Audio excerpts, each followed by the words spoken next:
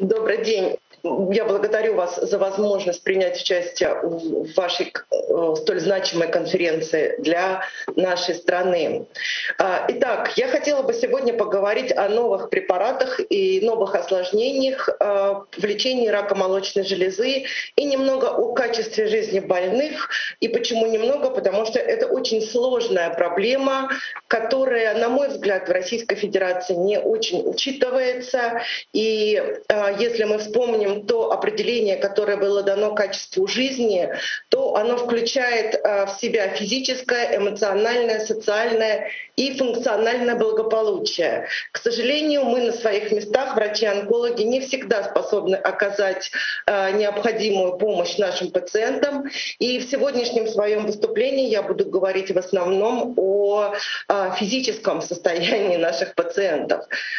Первый вопрос, который я хотела бы задать вам, а, при выборе метода лечения в клинической практике вы учитываете распространенность опухолевого процесса, социальный статус пациента, наличие препаратов учреждения или качество жизни пациента.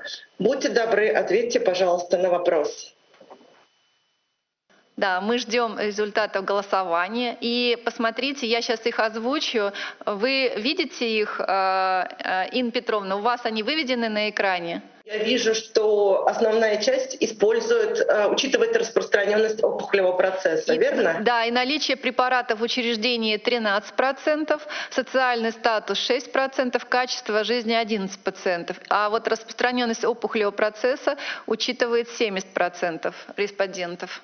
Э, я благодарю за ваши ответы, уважаемые коллеги. В принципе, я ожидала получить такие ответы. Действительно, а, мы больше ориентированы на болезнь, нежели мы ориентированы на качество жизни наших пациентов. И больше мы, конечно же, ориентированы на финансирование.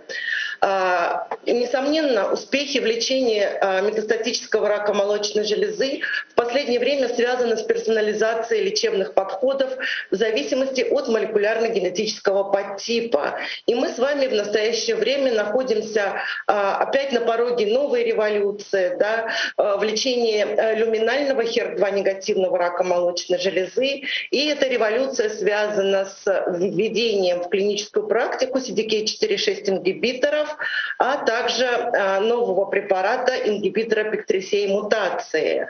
А, недавно совершенно мы были с вами свидетелями тех изменений, которые произошли в лечении а, метастатического и раннего HER2 положительного рака молочной железы. И успехи в лечении этого подтипа опухоли были связаны введением антихер-2 препаратов. В настоящее время тройной негативный рак молочной железы также получил новые опции в лечении, а именно а, возможности применения иммунотерапии у пациентов с PDL-экспрессией в опухолевой клетке. Но, тем не менее, новые препараты, которые мы получили в руки, они сопряжены с развитием новых а, побочных эффектов. Причем а, часть из этих препаратов являются таргетными, и мы с вами помимо типичных побочных эффектов для цитостатической терапии имеем также специфические побочные эффекты, связанные с блокированием конкретной мишени. Итак, не очень для нас новая тема применения антихер-2 препаратов и класс-специфический побочный эффект у этих препаратов — это кардиотоксичность. Но с этим мы с вами худо-бедно уже умеем справляться и умеем э, лечить наших пациентов так, чтобы кардиотоксичность не развивалась. CDK4-6 ингибиторы. А, мы на сегодняшний день в руках имеем три препарата, палба, риба и абемацеклип, которые а, имеют а, класс-специфический побочный эффект в виде нейтропении, и также они имеют некоторые различия по таким токсичностям, как кардиотоксичность, диарея и гепатотоксичность. Тройной негативный рак молочной железы в настоящее время получил новую опцию в лечении. Это применение иммунотерапии, которая в настоящее время обсуждается уже и при ранних стадиях заболевания. А, на сегодняшний день мы имеем возможность использовать атезолизумаб при педельположительном метастатическом раке молочной железы в первой линии в комбинации с напоклитокселом. И мы можем с вами использовать пембролизумаб при MSI-high а, у предлеченных пациентов. И, конечно же, иммунотерапия характеризуется иммуноопосредованными осложнениями.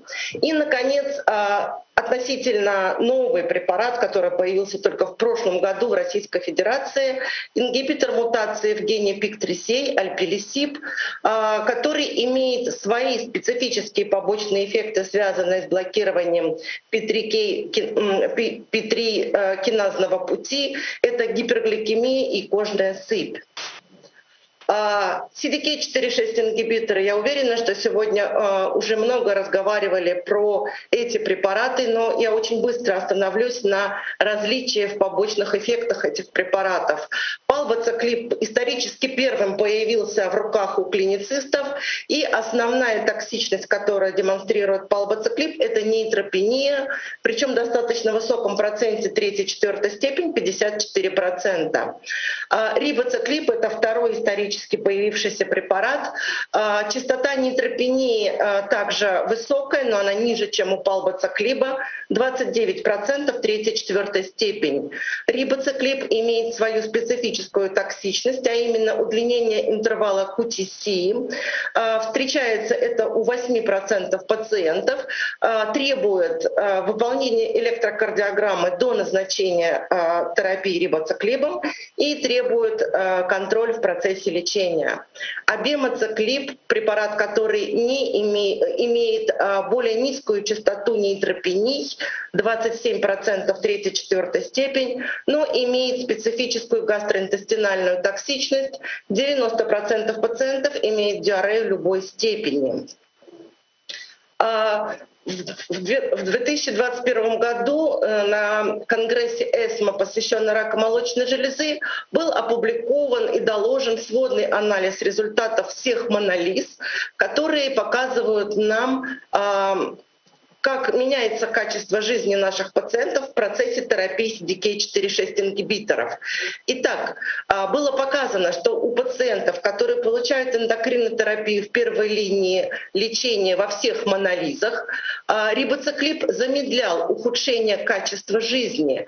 Рибоциклип удлинял время до ухудшения общего состояния в отношении общего состояния здоровья, боли и эмоционального функционирования. Мы видим с вами, что в абсолютных числах это практически 10 месяцев а, разница до ухудшения общего состояния пациента в процессе терапии рибоциклибом. Также был проведен масштабный глубокий анализ, который показал, что происходит улучшение показателей качества жизни на фоне терапии рибоциклибом и эндокринотерапии. А, также было показано, что рибоциклиб в комбинации с эндокринотерапией а, увеличивает время до ухудшения общего состояния здоровья во многих клинически значимых подгруппах. Это касается как молодых пациентов, а, у которых болезнь имеет более агрессивное течение, и также это касается пациентов с большим количеством зон метастазирования. Шкала клинической пользы ЭСМА было голосование, в котором рибоциклип получил максимальное количество баллов, а именно 5. И это было проведено на основании достоверного увеличения общей выживаемости и улучшения качества жизни у пациенток в пременопаузе на основе исследования Монолиза-7. Перейдем к иммунотерапии. Безопасность применения атезолизумаба и напоклитоксела было изучено в исследовании Impassion 130. И посмотрите, пожалуйста, побочные эффекты особого интереса, которые указывают на потенциально иммуноопосредованную этиологию. Мы видим с вами, что в принципе в исследовании по раку молочной железы нет большого количества значимых иммуноопосредованных реакций.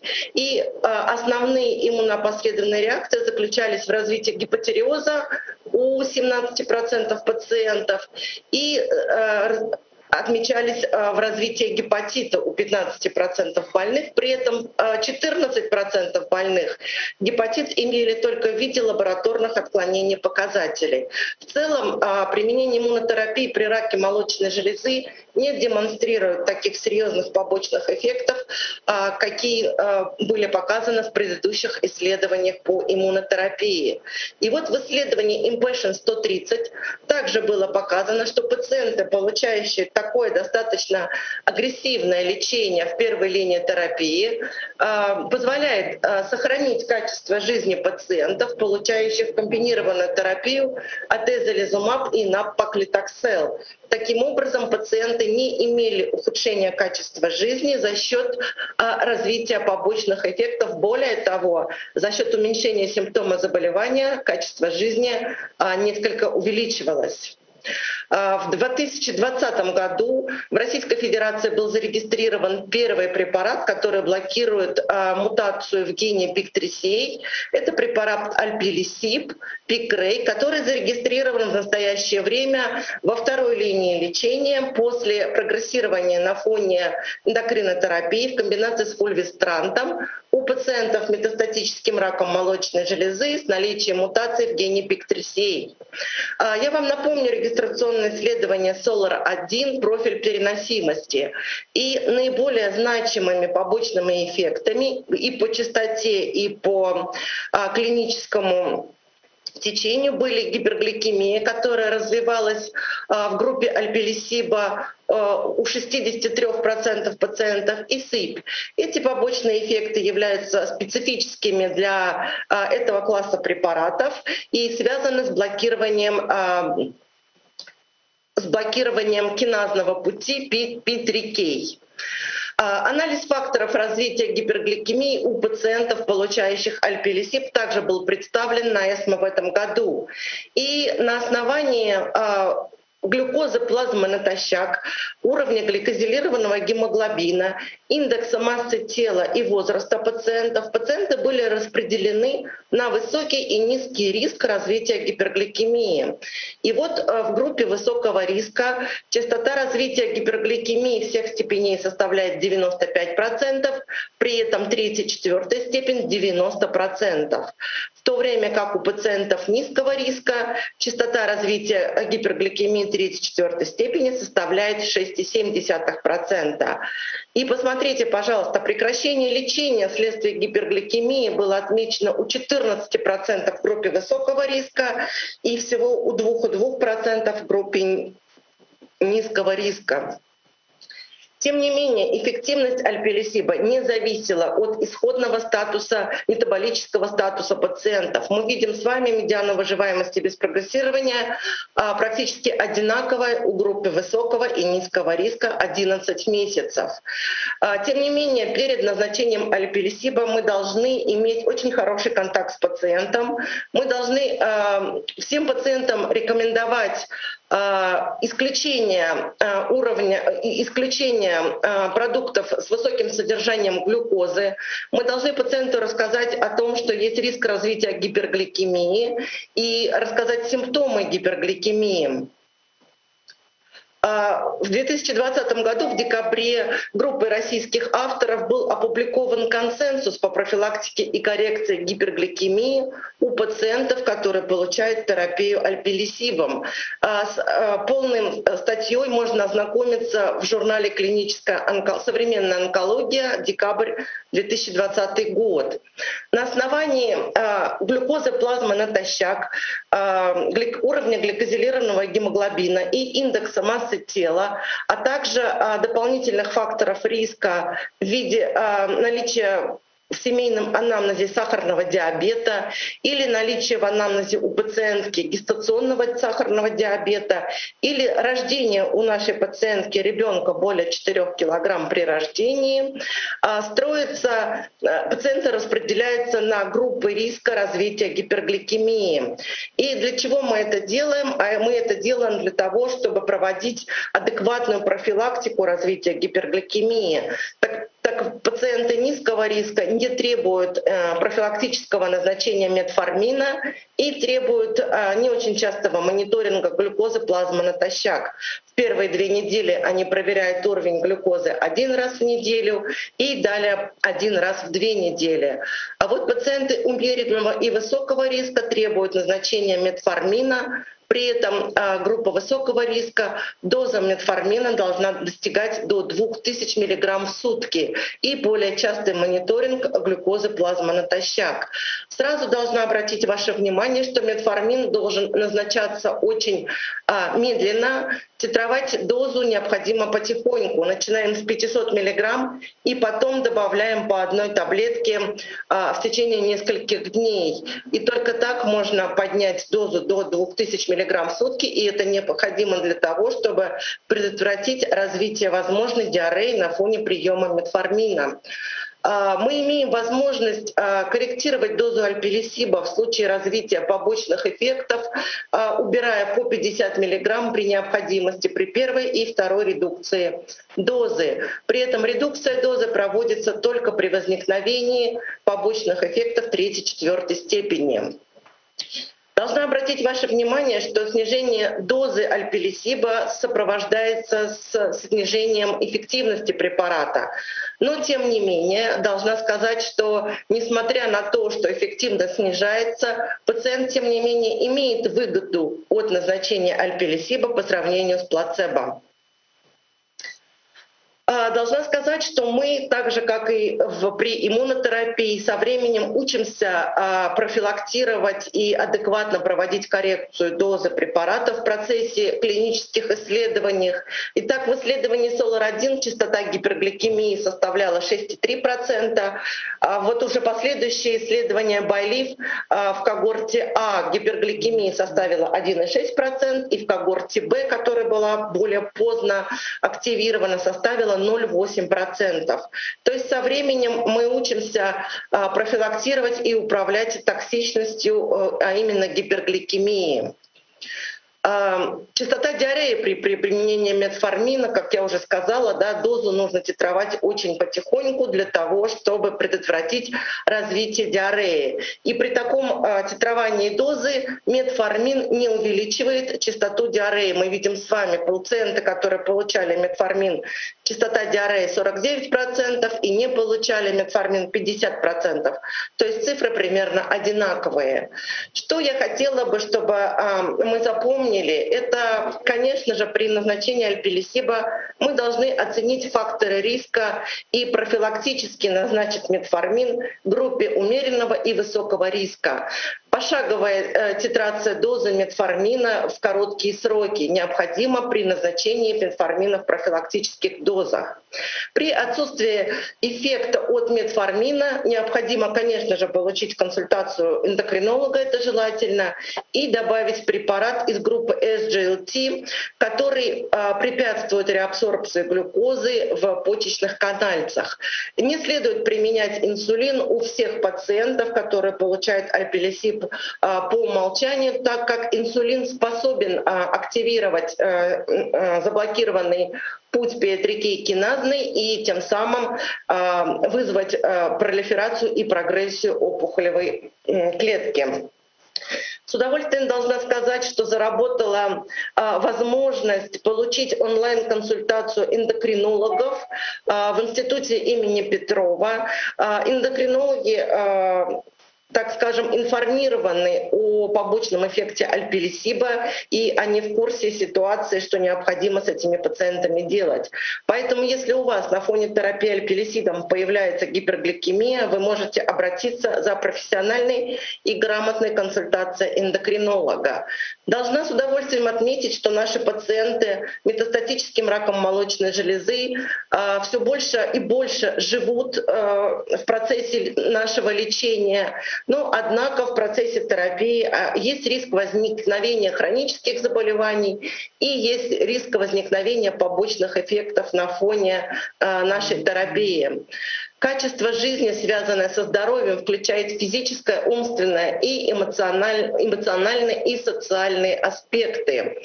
И в заключение я хотела бы сказать, что э, качество жизни, так же как и общая выживаемость, по мнению FDA, является э, основными критериями оценки клинической эффективности.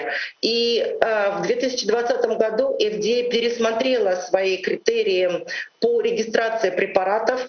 И в настоящее время считается, что препарат может быть зарегистрирован либо на основе увеличения общей выживаемости, либо на основе улучшения качества жизни. Это два критерия, которые FDA признает самыми важными в лечении метастатического рака молочной железы.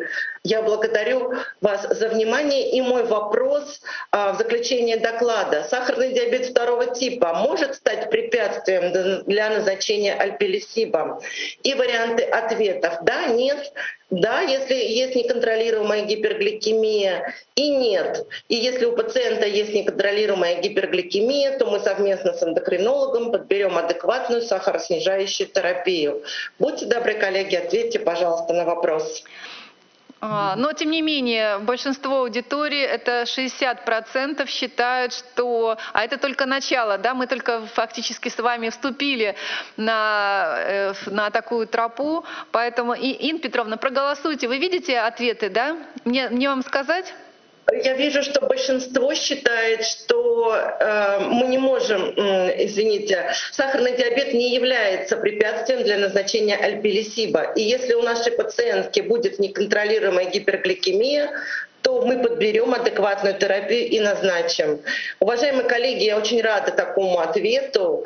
А, я надеюсь, что это будет а, использоваться в клинической практике и действительно сахарный диабет второго типа не является поводом для отказа в лечении при условии а, адекватной сахароснижающей терапии.